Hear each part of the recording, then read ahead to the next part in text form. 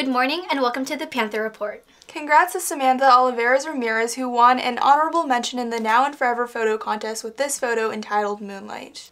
And if you're looking for more Pres art, there's an art show happening now until May 15th in the theater lobby. Nas will host a lunch reception on Wednesday for students. Now, here's Cloudy with a chance of meatballs and spaghetti. Tuesday, we have steak sandwiches. Wednesday, garden croissants. Thursday, veggie chow mein. And Friday, we have super clam chowder. Now, in case you missed it.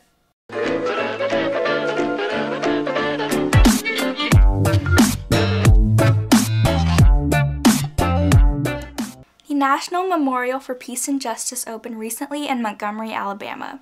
It serves as a monument to the victims of American white supremacy in a decades long campaign of racial terror. Each column in the memorial recognizes the thousands of black people who are lynched. Finally, stay tuned for a promo about the upcoming spring dance concert.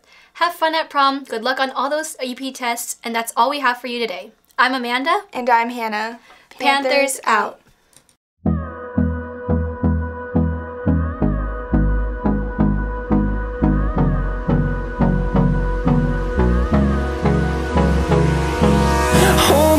Close till I get up. Time is barely on our side. I don't wanna waste what's left. The storms we chase are leading us